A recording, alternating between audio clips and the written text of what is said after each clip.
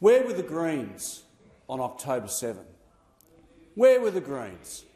Now, where were the Greens when 1,200 innocent Israelis were killed?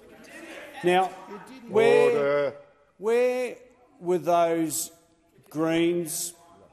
Have the Greens, any members of the Greens, been to Israel? Have they been to see the sites of the atrocities? Have they watched? Have they bothered to watch the 43-minute video? Have they bothered to do that? Now, the 40, you don't have to go to Israel. Have you seen it? Have you seen the 43-minute video? Because if you haven't, if you haven't, I, I encourage you to do it. I encourage you to I watch members the to have their, uh, 43-minute video. Through the chair. Mr uh, Deputy Speaker, I encourage those members of the Greens to watch that 43-minute video because it will enlighten them. I had, I wish I hadn't seen it. I wish I hadn't seen it. Um, when I travelled to Israel in December, and I watched that video in December of the absolute barbarity of those attacks the absolute barbarity of uh, Hamas, kitted up with uh, rocket-propelled grenades, with automatic weapons, and you know what else they had? They had cameras, because they wanted to show the world what they were doing. Not only did they kill innocent Israelis, uh, they killed women, children, beheading people. Uh, the rape. Where was the Greens? You know, it's, it's me too, unless you're a Jew. Rape was used as a weapon of war. And yet the Greens come in here and say nothing about what caused this war in the first place. What caused this war was the atrocities on the 7th of October. If, this, if, if Hamas wanted this war to be over, they could unconditionally surrender and hand back the more than 100 hostages which are still being held.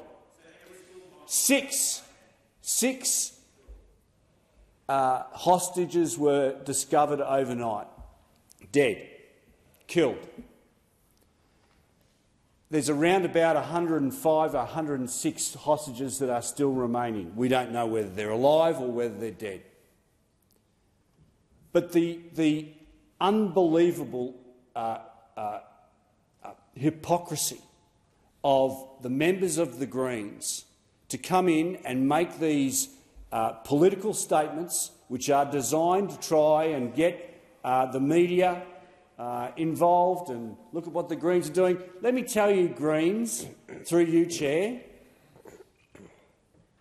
that what was once a party of environmentalists, those same environmentalists are walking away from you in their droves because you've become through you, Chair, the Greens have become much more than environmentalists. They've abandoned that, and now what they are doing is effectively trying to become uh, the, the, major uh, party on the left.